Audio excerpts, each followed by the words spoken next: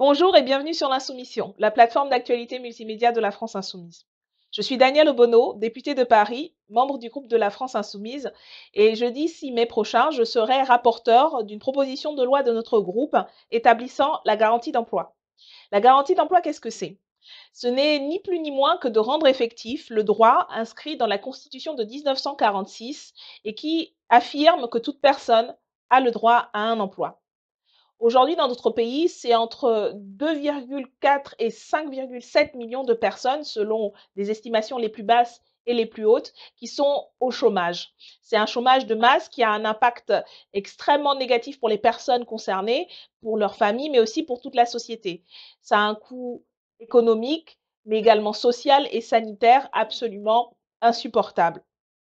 Parmi ces personnes au chômage, il y en a une partie, près de 40%, entre 900 000 et 2,7 millions, 2,8 millions, qui sont durablement privés d'emploi, c'est-à-dire qui sont au chômage depuis plus d'un an.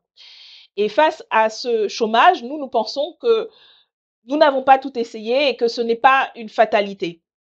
En vérité, aujourd'hui, ce n'est pas le travail qui manque, c'est l'emploi du travail, il y en a à faire et il y en aura encore plus dans le cadre d'une stratégie de bifurcation écologique et solidaire.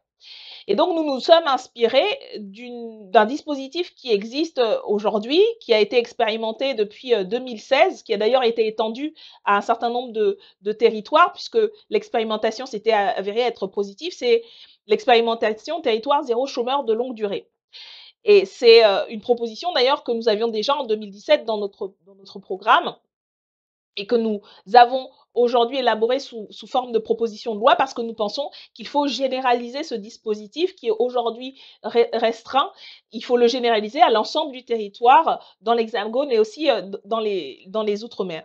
Alors comment est-ce que ça marche? L'idée, c'est de partir en fait des besoins locaux, des besoins des personnes qui sont au chômage et des besoins de la collectivité euh, en termes sociaux, mais aussi en termes écologiques.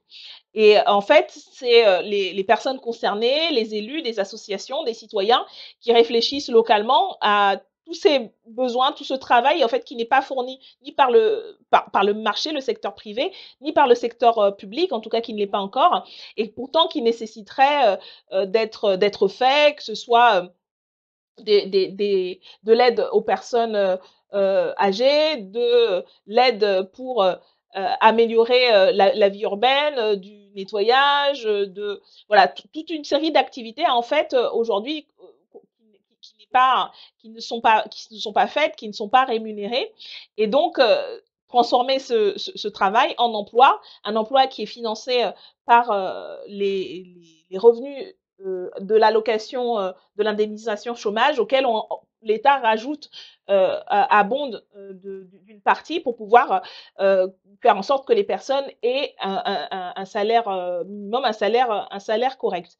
Et donc, nous, nous pensons qu'il faut généraliser ce dispositif dans le cadre d'une stratégie de relance de l'activité par la, la, bifurcation écologique que nous voulons mettre en place. L'objectif, c'est plein emploi parce qu'il va falloir que tout le monde s'y mette, il va y avoir beaucoup de travail à faire et que toutes les personnes doivent pouvoir, sont employables, ont des capacités, des savoirs qu'elles peuvent aussi développer à travers, à travers les, activités. Et donc, nous nous institutions ce droit pour les personnes au chômage qui sont privées d'emploi durablement, qu'elles peuvent venir faire exercer, de, demander à exercer en se rendant dans, un, dans un pôle emploi. Nous voulons mettre le, service public de l'emploi au cœur de ce dispositif en lui donnant plus de moyens pour l'accompagnement, mais en en faisant aussi ce guichet qui s'appuierait euh, dans tous les cas sur euh, les dispositifs qui existent déjà comme territoire zéro chômeur, mais qui seraient généralisés. Et donc toute personne au chômage de longue durée devrait pouvoir euh, se, rendre dans une, agence et demander à exercer ce, ce droit à l'emploi. Et c'est aujourd'hui une idée de garantie d'emploi. C'est l'emploi, l'État qui est en fait garant, puisque c'est l'État qui finance et qui abonde un fonds national et qui s'assure en fait qu'il y a qu'il y ait un emploi pour les personnes concernées. C'est une idée d'ailleurs qui n'est pas nouvelle, qui a été mise en œuvre dans le passé. Je pense notamment dans le cadre de stratégies comme le New Deal aux États-Unis dans les années 30-40 par le président Roosevelt, qui a été aussi mis en œuvre de manière récente, contemporaine, dans des pays comme l'Argentine, comme euh, l'Inde, comme l'Afrique du Sud, Et d'au d'autres pays européens aujourd'hui sont intéressés par ce type de de dispositifs qui partent des besoins locaux, encore une fois, heu, et qui, répondent justement à, la nécessité de pouvoir un emploi aux personnes qui le souhaitent, et qui veulent, pouvoir, être correctement rémunérées pour, pour leur activité. Voilà ce que nous, nous proposons au travers de cette, heu, de ce texte de loi, heu, dont je serai la rapporteure avec, heu, Jean-Hugues Gratton qui est le chef de file sur ce texte, pour notre groupe.